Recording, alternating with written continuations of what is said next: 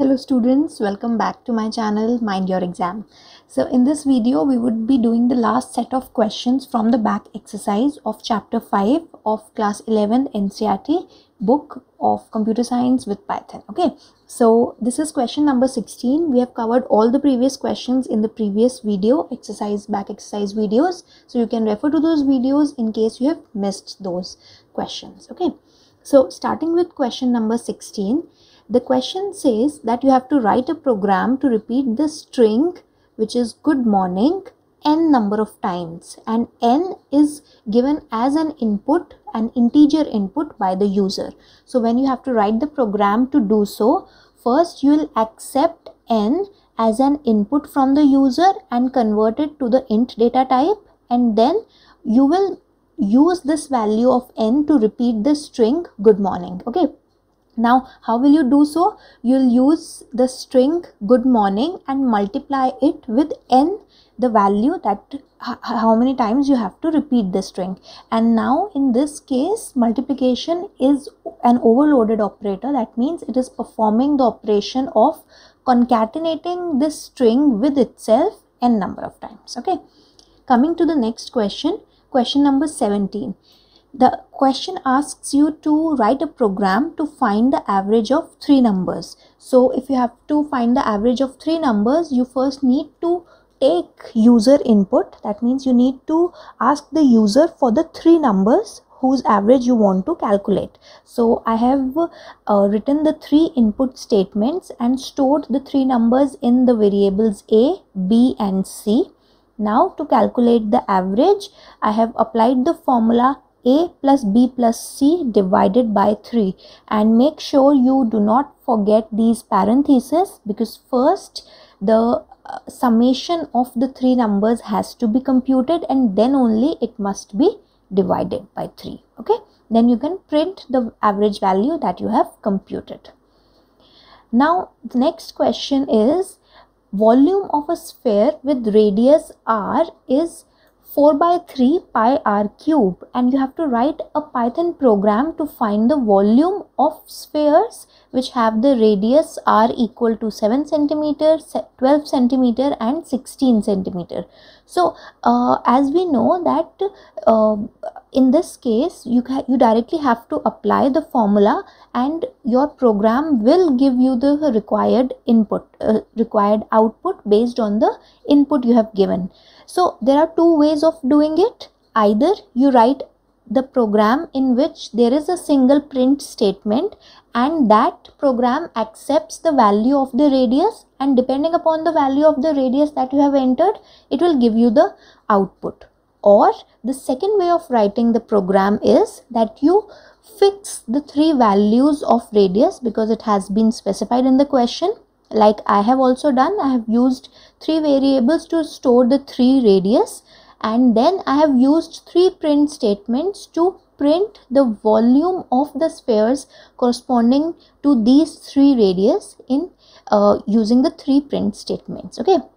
And in each of the following print statements I have applied the formula 4 by 3 again in brackets because I want this operation to take precedence multiplied by 22 by 7 which is the value of pi and multiplied by r1 exponentiation operator 3 that means r cube. I am performing uh, i am performing the taking the power of 3 for r1 and similarly for r2 and r3 okay.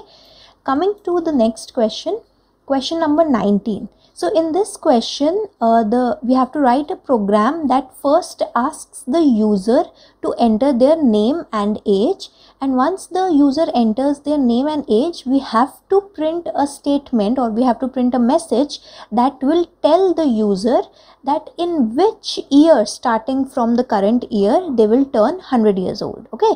So if you have to tell someone that you uh, when they will turn 100 years old what you do? You uh, take the current year and add 100 minus their current age to it okay? So this will tell this will tell them the year in which they would turn 100 years old. So uh, since i have to take the name and age as input from the user i have written two input statements. Please note that in the first input statement I have not performed explicit type conversion because I want the name to be as string okay?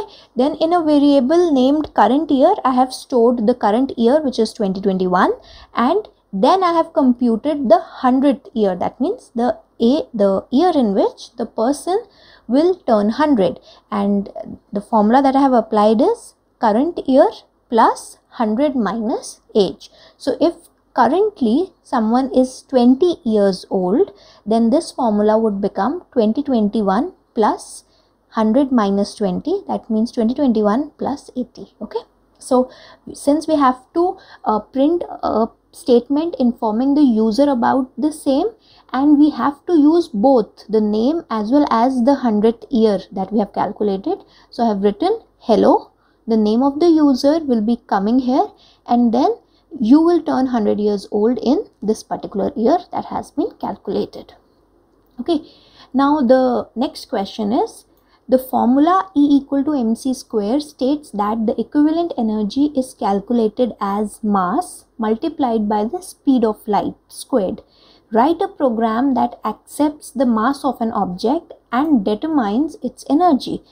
So in all these questions you have been specified the formula. Similarly here also you have you have been given the formula for calculating the energy. So first you will take as user input the mass of the object and this mass should be in kilograms because the formula explicitly tells you that the mass is in kilograms and the energy that will be computed it would be in joules okay? So i have fixed the value of the variable c that means the speed of light to be 3 into 10 exponentiation operator 8 that means 3 into 10 raised to power 8 and then to calculate the energy I have multiplied both these values so uh, m multiplied by c square that means c exponentiation operator 2 and then I have printed the value of energy. Now coming to the last question the last question says that there is a ladder that is put up against the wall and two variables length and angle store two kinds of values. Length stores the length of the ladder that has been put up and angle stores the angle that the ladder forms with the ground when it is leaning against the wall. So we have to write a Python program that will find out the height till which the ladder reaches when the ladder is inclined at different angles. Okay.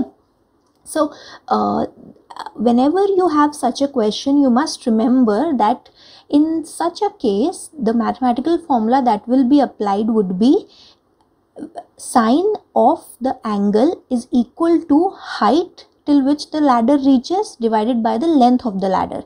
And in this case since we have to find out the height so height will be equal to length multiplied by sine of the angle at which it is leaning. Now sine is the mathematical function which is present in the math module of the Python programming language. So if we have to use this particular function, you will have to import that module, the math module in your programs. And also make sure that the angle that you are providing to the sine function must be in radians. Then only the formula the answer would be right. Okay? So this is the program that i have written for you so first I import the math library, then I take the user input two variables and uh, store it in two variables, the length of the ladder and the angle in degrees that it is forming with the wall. Now why I have taken the angle in degrees because in most cases the angle is known to be in degrees and will in our program we will convert it in radians. Again we will use the math library of the Python programming language to convert the angle in degrees to angle in radians and then we will be using it in the formula. So angle in radians is computed as math dot radians and we have supplied the original angle here. So uh, then we calculate the height, length multiplied by sine of the angle in radians. And you cannot directly write the sine function. You will have to call it using the math library. Okay then uh, whatever height is computed you can print it. Now since the um, the book was specifying four different values of length and angle at which you had to calculate the the, the height of the ladder on the wall. So uh, these are the four parts and when you uh, put these values at, into this program when you supply these values as an input to this program you would get these corresponding answers for the height. Okay? So that was all for chapter number 5 we have completed this chapter and from the next class we would be beginning with the next chapter of class 11th NCERT computer science with python. That would be chapter number 6 flow of control.